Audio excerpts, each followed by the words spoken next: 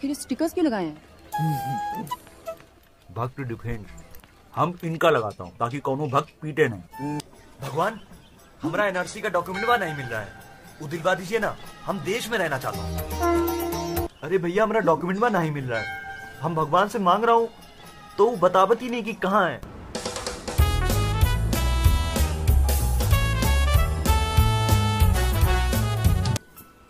आप ये पर्चे क्यों बांट रहे हैं? हमारा वोट लेके हम ही से पूछ रहे हैं कि देश के नागरिक हो या नहीं। लुल हो गई हमारी लाइफ हैं? अरे बुलेट ट्रेन आ गई। पीके ने आज एक बहुत अहम सवाल उठाया का? कि एनआरसी और सीएबी एक्ट के सचमुच देश की जनता के लिए ठीक है? नहीं। अरे गरीब अनपढ़ आदमी सत्तर साल पहले का डॉक्यूमेंट वहाँ कहाँ से लाएगा? बोलो हर हर मोदी घर घर मोदी हर हर मोदी घर घर मोदी हर हर मोदी घर घर मोदी। पीके कह रहा है कि एनआरसी और कैब बैन होना चाहिए क्योंकि वो एक्ट देश की जनता के लिए ठीक नहीं है। हम इस भूमि पर जहाँ भगवान राम का जन्म हुआ एक एनआरसी एक्ट लाना चाहते हैं तो ये सवाल क्यों? सवाल पूछना है तो जाके उससे पूछिए जो ये सीएबी और एनआरसी को रोकना चाहता है। कौन है ये पीके कहीं ये पाकिस्तानी तो नहीं? कृपा कीजिए आप लोग। और अगर सवाल पूछना है तो जाके उस पीके से पूछिए, क्या है उसका मज़हब? उसका धर्म, उसका देश क्या है?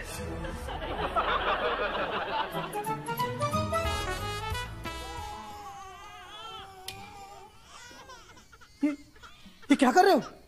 थप्पा कहाँ लगता है? कौन सा थप्पा? धर्म वाली मोहरिया। ये कौन से देश का है? कैसे पता चलेगा? मोदी जी!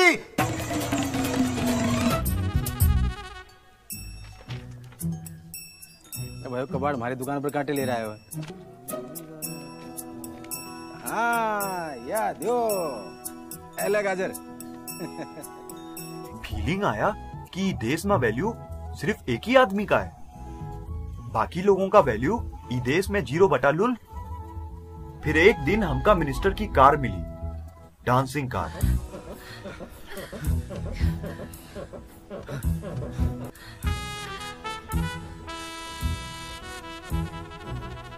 पकड़ो उसे! अरे, वो ईवीएम मशीन से वोट चुरा रहा है।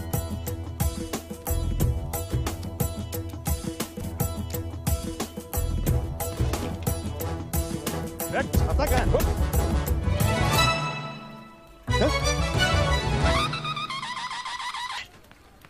तुम कर क्या रहे थे वहाँ? रिटर्न ले रहा था। वोटवा ले लिया और नागरिकता नहीं दे रहे हैं। ई वाला बूथ पर बीजेपी को दो बार वोट डाला था। उठते ही लिए बाकी रिटर्न डाले। फिर स्टिकर्स क्यों लगाए हैं?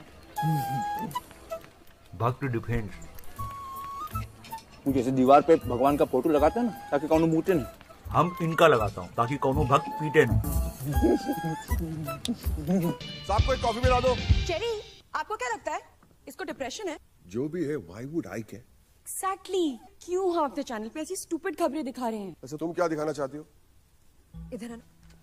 ये देखिए मैं आज एक आदमी से मिली जो सड़कों पे ये पैम्पलेट्स बांट रहा है। यहाँ पे तीन मार्क्स हैं। दिखाऊँ? ये बर्थ मार्क्स नहीं है। तुम्हारे डार्लिंग डैडी के फ्रेंड वो बीजेपी से है ना? उनके खिलाफ मैंने एक न्यूज़ आइटम रन की थी। उनके अंधे भक्तों ने आकर त्रिशूल घुसा दिया यहाँ पर। यहाँ राइट इन माई बम उस दिन से मैंने तय किया कि इस देश में रहना है तो बीजेपी से मत उलझो। दैट्स इट बॉस ने मौका ही नहीं दिया उस स्टोरी को फॉलो करने का। सब आधार कार्ड और एनआरसी का डॉक्यूमेंट वहाँ लेकर लाइन में लगा था। अपना अपना नागरिकता लेने के लिए। पूरा छह घंटा बाद हमारा नंबर आया। भगवान भगवान भगवान। हमारा एनआरसी का डॉक्यूमेंट वहाँ दिलाई दो। अरे चलिए भाई। अरे रुकिए हमारा डॉक्यूमेंट वहाँ नहीं मिला अभी। अरे भाई साहब देखिए ये हमका नागरिकता नहीं दे रहे हैं। हम आधार कार्ड भी दिखा दिया ना जी ना जी ये नहीं है। इससे नागरिकता तय नहीं होती है और आधार से तो जरा भी नहीं तय आपको नागरिकता मिल जाएगी? चलिए कब मिलेगा? बेटा कब कैसे बता सकता हूँ? आपको नागरिकता मिल जाएगी। अरे लेकिन हमारा डॉक्यूमेंट वहाँ कब मिलेगा? लाइन मत रोकिए आप। चलिए आगे। अरे हम आगे निकल गया और हमारा डॉक्यूमेंट ना किसी और को थमा दिया तो मुसलमान है क्या? अरे लेकिन कहाँ मिलेगा नागरिकता? डिटेंशन कैंप में मिलेगा आपको। बहुत ही कंफ्यूजिया गया हूँ भगवान। हम कुछ तो गलती कर रहा हूँ जॉन। हमारी बात अब तक पहुँच नहीं रही। इस ससुरा एनआरसी और कैब सही है या गलत? समझ में नहीं आ रहा है। फ्रस्ट्रेट आ गया हूँ भगवान। हमका देश में रहना है। बस हमारी नागरिकता दिलवा दीजिए। प्लीज़। कुछ तो बोलिए। प्लीज़।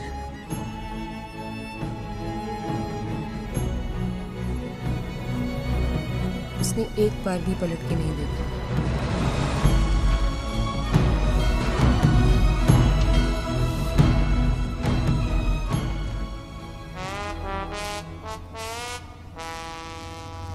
भाई लोग, अब एक घंटा माँ हम इंडिया में लैंडिंग मारने वाला है। हम जौन सिखाया हूँ, वो भूलना नहीं, सिर्फ़ चार पॉइंट हैं। वन, इंडिया में करप्शन करना मना है। ई रिश्वत विश्वत, सब करप्शन वाला काम ये लोग छुप छुपा के चोरी छुपे करता है। बाकी लड़ाई झगड़ा, हिंदू, मुसलमान ये सब ओपन में अलाउड है। दुई, यहाँ सबसे बड़ा कंफ्यूजन है अंधा भक्त और चमचा। अगर आप सोशल मीडिया में कहीं कमेंट में देख लो कि I love Modi I love Congress तो ई का मतलब ये नहीं है कि इन लोगन का देश से प्यार है।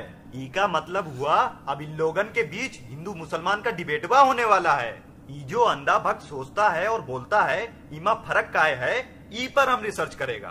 तीन उतरते ही हम भ्रष्ट नेता की कार से कपड़ा चुराएगा। आप सब अपना अपना नागरिकता डाल लेना अंडरवियर में। एकदम डीप में डालना ताकि कोनो छीन न ले ससुरा। हाँ और चार सबसे इम्पोर्टेंट बात, कोनो मिले जो कहे कि वो देश में अच्छे दिन ला सकता है तो भाड़ में गया रिसर्च यू टर्न मारना और फुल स्पीड में भागना।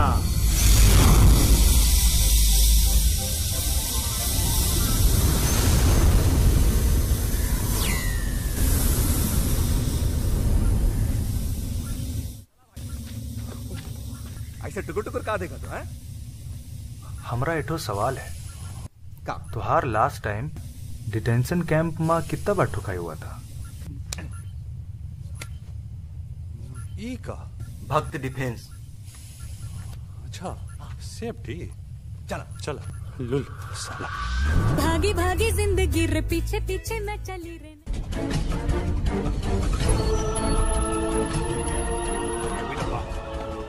Well done, Rocky. Shabash. Well done, Rocky. What a presentation. Fantastic.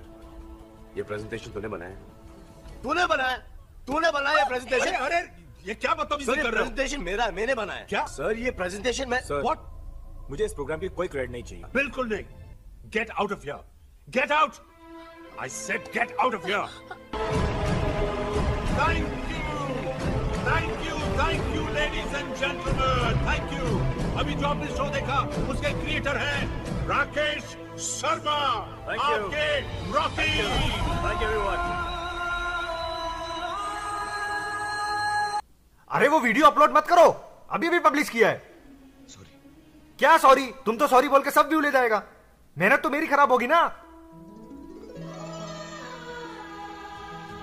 तुम बहुत मस्त काम करता है अली भाई। और दूसरी बात तेरे जाने का गम और नाने का गम।